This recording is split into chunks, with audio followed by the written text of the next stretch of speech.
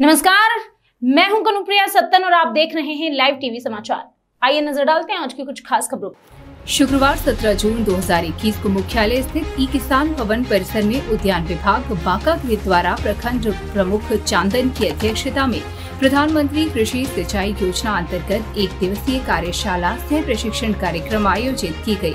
कार्यक्रम का उद्घाटन प्रखंड प्रमुख चांदन रवीश कुमार, प्रखंड पशुपालन पदाधिकारी चांदन, परियोजना प्रबंधक नाबार्ड, किसान सलाहकार समिति अध्यक्ष चंदन एवं प्रखंड उद्यान पदाधिकारी सूरज कुमार पांडे के द्वारा दीप प्रज्वलित कर किया गया कार्यक्रम के दौरान प्रखंड प्रमुख रवीश कुमार ने योजना पर प्रकाश डालते हुए कृषि कार्य में सूक्ष्म सिंचाई अपनाने हेतु सभी किसानों को प्रेरित किया।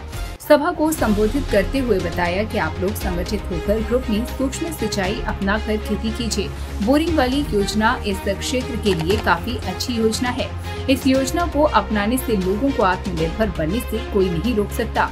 वहीं पदाधिकारियों को निर्देश दिया कि इस योजना का लाभ अधिक से अधिक किसानों को दिलाने का प्रयास करें। इस दौरान किसान सलाहकार समिति के अध्यक्ष के द्वारा भी किसानों को जागरूक किया गया और अधिक से अधिक किसानों को लाभान्वित करने पर बल दिया गया। इसी क्रम में प्रखंड उद्यान पदाधिकारी सूरज कुमार के द्वारा सूक्ष्म सिंचाई योजना एवं सामुदायिक नलकूप योजना के साथ साथ विभाग से जुड़े उद्यान की, फ़सलों की खेती हेतु अनुदान एवं आवेदन प्रक्रिया के बारे में विस्तार पूर्वक चर्चा करते हुए बताया।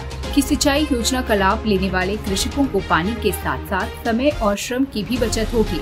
इस विधि में कम लागत में अधिक उत्पादन होगा। मौके पर उपस्थित किसानों ने सूक्ष्म सिंचाई योजना का लाभ लेने के लिए उत्सुकता दिखाई। कार्यक्रम के दौरान प्रगतिशील कृषक अतुल कुमार घोंघा डाबर निवासी ने अपने खेत में अधिष्ठापित सूक्ष्म सिंचाई साधन के अनुभव को साझा करते हुए, उससे होने वाले फ़ायदे के बारे में किसानों को अवगत कराया। इस मौके पर दर्जनों कृषि कर्मी एवं विभिन्न पंचायतों से आए हुए किसान उपस्थित थे। ब्यूरो चीफ उमाकांत शाह की रिपोर्ट।